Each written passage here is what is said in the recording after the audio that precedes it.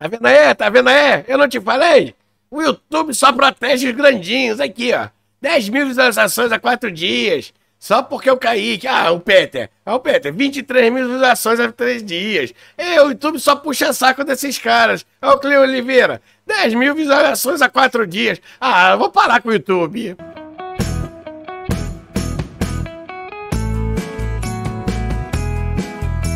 Seja muito bem-vindo ao Massini 100% focado no YouTube. E no vídeo de hoje eu venho trazer uma tarefa de casa do curso que eu estou fazendo para vocês. Na verdade, eu vou mostrar para vocês esse monte de objeções que nós temos quando vamos fazer um produto, seja um, um vídeo, considera um produto, um canal é um produto, ou um curso, como eu faço, é um produto.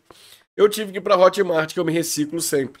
Eu sempre quero estar atualizado. A Hotmart lança qualquer curso novo interno pra, para os produtores, eu vou lá fazer. E eu recomecei assim, como se eu tivesse. É, o palavra foi recomeçar mesmo, como se eu tivesse iniciando hoje, mas eu recomecei. Aí o que, que eu fiz? Vou fazer passo a passo e quando o curso ele acaba sendo eficiente para você, é quando você cumpre as regras do curso. Ou seja, é para fazer o passo a passo, você tem que fazer o passo a passo. Ah, agora você vai parar a aula, você vai fazer esse exercício, depois você volta para dar continuidade ao curso. E assim fazendo, eu falei, caramba, isso dá um belo de um vídeo, essa parte que ele me chegou aqui. Então vamos lá, sem mais enrolação, falei até muito no início, você que é meu inscrito sabe que eu não falo tanto assim, brincadeira que eu falo bastante. Se você não é meu inscrito, aproveita o momento, se inscreva, ative o sininho, porque agora nós vamos para a tela do computador. O curso que eu estou fazendo é o mapa do cliente ideal. Na verdade, o curso é um curso da Hotmart Academy, primeiros passos. Por isso que eu falei que fosse como se eu estivesse começando hoje. Né? Eu preferi, em vez de sair do meio desse curso para frente ou de um curso novo para frente, falei, nossa, outra coisa, tá na hora de eu dar um passinho atrás, estudar tudo de novo para melhorar cada vez mais. E aí, aqui na parte do cliente, né? Mapa do cliente, estratégia de comunicação, parte 2. Nós começamos a fazer o nosso mapa do cliente. Porque o que seria isso? É eu entender qual o público que me assiste. Aí eu vou lá no meu canal, pego minhas estatísticas, eles vão dando um passo a passo e você vai fazendo, como eu falei, vários exercícios. E aí você vai criando o mapa ideal, do cliente ideal. Ou seja, você tem que saber qual o seu nicho, seu subnicho, o que, que você mais sabe falar, daí em diante, seus principais concorrentes. Aí você dá um nome. Eu dei o nome de Zezinho pro meu personagem, pro meu, meu cliente, pro meu espectador, meu inscrito. O nome pode ser qualquer um. Eu dei de Zezinho, que ele até aconselho, que é bom mesmo, que aí você vai brincando. E eu tenho um amigo muito bacana que se chama Zezinho. Eu falei, ah, vou homenagear o Zezinho. E aí você vai respondendo gênero, idade, classe social, ou seja, você vai traçando o perfil de quem você vai trabalhar. E chegamos aqui numa, numa coisa muito bacana, que é a gente entender quais os problemas do nosso cliente, quais os obstáculos que eles enfrentam, insatisfação. Isso, quando você já tem uma experiência como eu tenho, é muito mais fácil, devido aos comentários. Porque vocês vão comentando. Eles vão comentando e eu, e eu vou sempre respondendo. Então já dá para entender quais são as suas dificuldades, principalmente do iniciante, do médio, né? Quem já está no estágio avançado, as dificuldades vão surgir ainda. Já, ele já passou por vários obstáculos e a partir de agora eles vão surgir. Tanto é que meu primeiro curso era o, é o Gravando em Casa para o Sucesso, está sendo reciclado, em breve vou dar até um outro nome, que era exatamente isso que eu ensino como você ficar na frente da câmera, como você testar gravando sem ainda ir para o ar, como você conseguir botar sua voz melhor, como você entender que o ambiente pode te proporcionar o barulho, essas coisas todas. Isso tudo são obstáculos, são dificuldades, e não eu fui narrando, a gente vai narrando isso e tal. Mas o que me chamou mais atenção, olha quantos pontinhos eu botei ainda. Então eu botei na ordem aqui do que reclama. Vamos para o primeiro? YouTube não me distribui.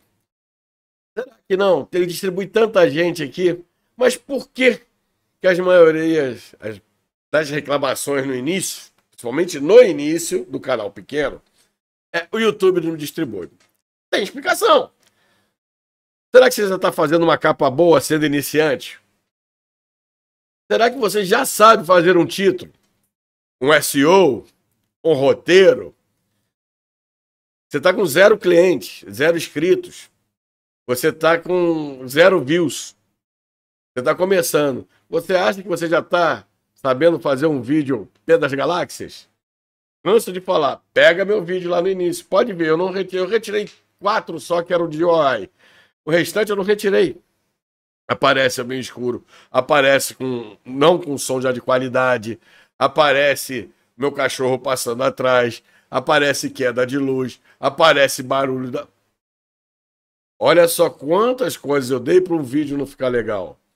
Minhas capas, andei até reformulando umas, tá? Eu sou assim, eu gosto de ir lá corrigindo alguns erros. Mas não eram das melhores. Eu tive uma análise de canal que falava, cara, tua capa tá toda poluída, ninguém sabe nada. Depois eu vim saber que o ideal é no máximo seis palavras, cinco a seis palavras na capa. Então minha capa já não era boa. O meu título, até eu estudei muito forma negócio online, eu conseguia fazer um título até melhorzinho, mais estilo copy. Então o que estava me ajudando no início era o meu título, que criava bastante é, encontro pela pesquisa do YouTube. Eu era achado pela pesquisa do YouTube. Já mostrei vídeos antes disso para vocês. Meu, minha descrição que eu achava maravilhosa foi considerada uma besta, besta para não botar o bosta. Eu, é, na hora de uma análise de, de canais e vídeos. Eu fui modificando, eu fui melhorando. Com certeza o meu roteiro não é meu roteiro que eu tenho hoje. Com certeza eu não tinha assim um enredo, digamos, aproveitando que nós estamos perto do carnaval, de, e vou fazer um curso agora e no meio do curso eu paro e estou fazendo um vídeo que não, era, não ia entrar nem hoje. Porque ali eu falei, caramba, achei interessante isso, porque é o que todo mundo reclama. Então, o YouTube não me distribui no início, muito provavelmente por isso. Volto a dizer, o YouTube não tem implicância com vocês. Eu achei até que estava com implicância comigo agora, quando tirou os canais. Quando eu fui ver os canais que ele me tirou, ele tinha razão de me tirar né? Por causa daquela playlist que eu estava guiando, inclusive, exclusivamente para venda. Então, vamos continuar sem reclamar muito do YouTube. Vamos à segunda. Se quiser reclamar, também reclama. Nós estamos no país democrático, todo mundo pode reclamar, pode fazer o que quiser. Agora sim, o YouTube prefere os canais grandes. Isso é muito. Eu não sei qual das duas é melhor. O YouTube não me distribui ou o YouTube não, não prefere os canais grandes. Será que ele prefere os canais grandes? Eu fiz aqui um pequeno apanhado, porque como eu já falei para vocês algumas vezes, eu acompanho canais grandes, médios e pequenos. E por muitas vezes a minha fonte é canais pequenos, eu mostro aqui. Quando eu falo canais pequenos, gente, é assim, o meu, o meu 16 mil, é pequeno ainda no YouTube, tá? É pequeno, mas não é iniciante. Então eu já tenho uma clientela. Canais considerados médios no YouTube é quando passa de 50 mil. Uns dizem que canais médios tem que ser acima de 100 mil. Não. A canais médios, para mim, para o Mário, acima de 30 mil, entre 30 e 100 mil já é médio. Para mim, passou de 100, já tem plaquinha grande. Mas vamos lá.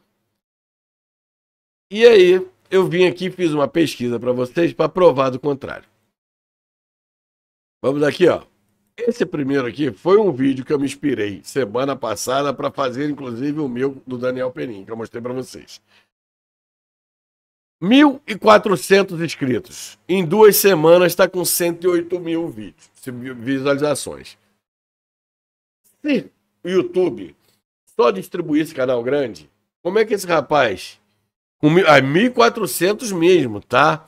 Vou até clicar aqui no canal dele. Não é 1 milhão e 400, para não ter dúvida. 1.400 inscritos. Ele, vou botar aqui vídeos para vir mais recente, mais fácil. Ele, com esse vídeo aqui, ele conseguiu 108 mil. Depois ele voltou para 93 visualizações, depois para 72. Aqui ele está com 138. E aí eu vou perguntar para você: o YouTube não distribuiu? Sim, o YouTube distribuiu. E agora? Vai dizer que não? Como é que uma, um cara que tem mil inscritos consegue 108 mil? Através da distribuição do YouTube. Ué, mas por que, que voltou para 93? Porque aqui provavelmente o YouTube distribuiu uma quantidade X e as pessoas não se interessaram por esse assunto. E se interessaram por esse. É, ele pegou, ele fez muito bem feito o vídeo, tá? Eu usei ele como exemplo no, no, no vídeo que eu falo do Daniel Perim. Ele foi em cima do hype, basicamente do dia, e comprou o curso. Então ele tinha roteiro, ele tinha o hype e ele teve a qualidade de saber colocar. Você pode ver que os outros vídeos dele giram 1.500, 847, oscila. Ou seja, o YouTube distribui ele. O negócio está na escolha dos assuntos. Então, vamos para o segundo exemplo. É esse aqui.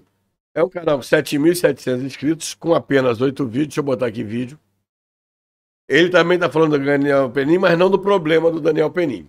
Ele está ensinando a editar vídeo igual o Daniel Penin. É, lógico que eu fui ver esse canal, porque eu já falei para vocês, eu sou muito fã dessa edição de vídeo. Quando ele falou que ele tinha 20 editores, ou 10 editores de vídeo, 10 editores, eu acho, de vídeo, eu entendi porque é, essa qualidade toda. Mas também não precisa de 10 editores de vídeo para isso, não. É um bom editor de vídeo, acho que ele faz isso. Então, aqui, ó. Ele fez Daniel Penin, como eu edito, deu 37 mil. Aí foi ver vídeos antigos dele, tinha um de 73 mil. E um, há seis dias agora, repetindo basicamente esse aqui. Ele aproveitou com seis dias, 8.500 para alguém que tem 7 mil. Ah, mas ele já tem 7 mil, tá. Mas ele teve aqui cinco vezes mais visualizações do que ele tem de inscrito. Então o YouTube distribuiu ele também aqui. Eu separei mais um, que é o YouTube CBMimi, que é um canal que eu estou gostando muito, venho acompanhando bastante. Que agora está com 26 mil, mas eu posso garantir para vocês que há um tempo atrás, ele começou muito há pouco tempo. Começou 6 de outubro de 22. Os vídeos mais antigos dele estão na faixa de um ano. E os mais recentes começaram a pegar sempre visualização. Ó. 2,200, 3,500, 6,600, 6,300, 4,600, 11.000, 9.000, 9.500, 13, 48, 8, 5, ou seja, ele está conseguindo se manter. YouTube só distribui grande, 26 mil ainda está naquela faixa que eu falo do canal pequeno. Eles consideram abaixo de 50 mil um canal pequeno. Né? Na verdade, eles consideram até abaixo de 100 mil um canal pequeno. Mas eu já considero aqui indo para o canal médio. Mas não deixa de ser um canal pequeno. Então o YouTube distribui canal pequeno. E aqui um outro exemplo também, nessa mesma faixa, 24 mil inscritos. Como aumentar a visualização do YouTube, dica falível, 337 mil visualizações há nove meses. Então, eu acredito que vá por terra YouTube só distribui canal grande. Então vamos mais um que agora vai ser mais rápido esse vídeo, isso aí a parte foi mais demorada. YouTube prefere canais grandes, então não condiz. YouTube não é para mim. Aí, gente, realmente é uma questão muito pessoal, né? Você desistir fácil, ok. Se você é uma pessoa que não vai persistir, ok, YouTube não vai ser para você mesmo. YouTube é para quem persiste. YouTube é para quem rala, rala, rala, rala. Ou tem aquilo virado para lua. Que faz um vídeo do nada, sem entender nada, e estoura 500 mil views. Que não é, vamos dizer assim, que de, com certeza é menos do que meio por cento que trabalha no YouTube acontece isso. Muitos falam do Whindersson Nunes. É muito diferente. O Whindersson Nunes tem talento, é humorista, ele tem a, o poder da, do palco, da, do domínio de palco. Fora isso, se eu não me engano, é o quarto ou quinto canal dele que veio a pegar. Ele já teve canais antes que não deu certo. Então, quando a pessoa fala YouTube não é para mim, é porque de repente, se ele for jogar futebol e achar que a chuteira não é bonita, a chuteira não é para ele, vai dizer que futebol não é para ele. Concorda? Se ele for surfar e achar que a, as ondas não são para ele, ele não vai surfar. Entendeu? É assim, tipo assim, se você achar que não é para você, então realmente pode ser que não seja. Você tá botando obstáculo em tudo. Então vamos voltar para cá. E nós temos outro aqui, ó. E o tudo toda hora inventa algo para atrapalhar.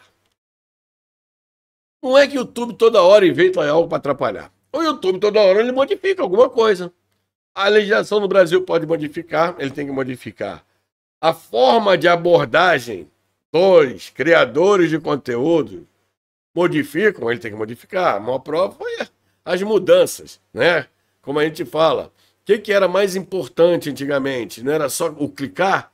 Clicar na sua capa, clicar no seu vídeo, você já ganhava dinheiro, já ganhava views. Por quê?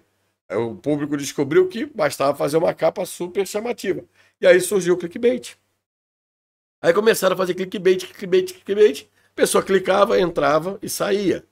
Aí o YouTube falou: não, não pode ser só isso. Agora nós temos que ter retenção, ou seja, a pessoa tem que botar na capa e no título pro, quando o espectador entrar e ele ficar. Por quê? Por causa da malandragem. Então, não é Só que ele fica inventando regras. Lógico às vezes ele faz umas coisas que a gente não concorda. Mas as regras já existem, estavam ali. E talvez, como aconteceu comigo, naqueles canais que eu perdi, eu que não prestei tanta atenção, mesmo com toda a experiência que eu estou tendo. Vamos voltar. O Brasil não regula o YouTube. Isso é uma discussão é, que eu posso é, opinar? Posso opinar. Eu acho que realmente teria que existir alguma regulagem, não só do YouTube, das redes sociais, colocando as regras claras para as redes sociais, para elas esclarecerem para gente. Tipo, olha, você perdeu sua conta no Instagram. Qual o motivo? Olha, você perdeu seu canal no YouTube. Qual o motivo? Não o motivo vago, como toda rede social dá para você. Joga. Porque se ela quiser retirar você do ar, ou retirar uma monetização sua, por má fé, coisa que eu não estou falando e nem acredito que aconteça, ela tira e acabou e a gente não vai saber. O YouTube regula pelas, regras, pelas regras e pelas leis dos países. Brasil ele vai ter uma conduta, Estados Unidos ele vai ter outra, Índia ele vai ter outra, Emirados Árabes vai ter outra, e se ele tiver lá na China ele vai ter que ter outra. Então ele vai pela regra do país. Agora, o país se conseguir fazer uma regra geral que não seja uma regra repressora, que não seja, deixar bem claro, que não seja uma regra antidemocrática, coibidora, é lacradora, ok. Você regulamentar o YouTube, você vai continuar com sua regra, é muito bacana, mas se você fizer isso contra um brasileiro, um criador de conteúdo brasileiro, você vai ter que explicar para ele. Olha, Instagram, você cancelou uma conta de milhões. Por quê? Por opinião, você cancelou porque ele cometeu um ato racista, você cancelou porque ele fez alguma coisa para imprópria, cenas que não impróprias, ok. Vai ter que ser bem claro. Não assim, spam. Né? Como eu perdi o canal. Eu entendi dentro das regras, mas em nenhum momento ele falou aqui. Você sabe por que não fala aqui? Com medo de você provar que não foi ali. Então acho que o Brasil tem que realmente dar é uma das reclamações que eu concordo. Mas não é o fundamental para você não crescer no YouTube. O RPM pago pelo YouTube do Brasil é muito baixo. Perfeito. Eu estou falando que as reclamações, tá? Mas todas têm resposta. O RPM no, do Brasil é baixo porque o anunciante do Brasil paga pouco. É simples. É, isso aqui é uma bolsa. O AdSense no YouTube não compensa. Olha, Gostei de falar também que não vivo do AdSense, não tem como viver ainda do AdSense. Se você falar que não compensa, se eu tivesse que analisar hoje, não compensaria. Mas eu não vivo só do AdSense. É a hora de que eu falo com vocês. Você ser um produtor de um curso, você é, vender como afiliado, você conseguir transformar o seu canal, o seu canal, em algo rentável. Não só depender do YouTube, não só depender do salário, digamos assim. Né? Muita gente quer sair da CLT e vir para o YouTube porque tem a liberdade de horário, liberdade de criar e liberdade de ganhos. Mas não significa que esses ganhos vão ser altos. Então, não compensa quando a gente ganha pouco. Quando a gente ganha muito, compensa. Tem muita gente que trabalha por um salário mínimo e fala, não compensa. Por quê? Salário mínimo é pouco. Mas tem muita gente que ganha um salário mínimo e meio e fala, compensa pelo trabalho que eu estou fazendo lá, compensa. E a mesma coisa com o YouTube. Né? É o país capitalista é assim mesmo. Você tem que procurar o melhor para você e fazer o melhor. Outro, o YouTube passa anúncio no meu canal e não sou monetizado. Eu vou voltar a falar sobre isso, que eu já expliquei várias vezes. Os vídeos são nossos, mas a plataforma não. Se a gente pegar nosso vídeo e colocar lá no X, tudo bem. No Instagram, tudo bem. Se no YouTube, tudo bem. Mas se eu botar no X, as regras são do X. Twitter. Se eu botar no Instagram, as regras são do Instagram. E se eu botei no YouTube, a regra do YouTube. Ah, não estou satisfeito? Pega meu vídeo e tiro. Mas realmente isso. Todos nós sabemos que você precisa de mil inscritos e quatro mil horas para você pedir a monetização. Certo? Mas todos nós sabemos também que o YouTube pode, pelas regras, pelas diretrizes e pelo contrato que a gente dá um concordo que a gente nunca lê, a gente dá um concordo, o YouTube pode passar anúncios a hora que ele quiser no nosso canal. A hora não, porque ele já determina a hora. mas a hora que eu falo, a qualquer momento. Gostei desse vídeo do, do Mário. Ele é monetizado, mas eu vou passar lá. E também ele pode chegar num vídeo, Mário monetizado num vídeo meu e falar: Eu não quero colocar anúncio nesse vídeo do Mário. O meu anunciante não se interessa por esse vídeo. Então é simples assim, não adianta ficar reclamando disso. A partir do momento que você vai para uma plataforma, que você vai, você passa a ser das regras dele. Eu volto a falar, não está satisfeito, retira e vai para outra. Então não adianta reclamar sobre isso. Vamos lá. Absurdo o YouTube recusar minha monetização. E aí vem junto aqui, ó. Perdi minha monetização ou não fui aprovado por repetitivo. Perdi minha monetização ou não fui aprovado por reutilizado perdi o meu canal e o YouTube não me explica o motivo.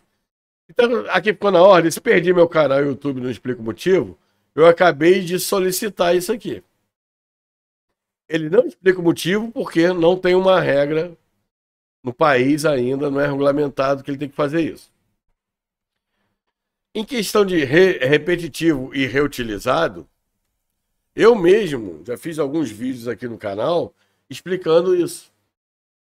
Né? O reutilizado é que ele já está na plataforma, tem outros donos, ou não tem dono, mas muita gente já usou, e você vai reutilizar o produto.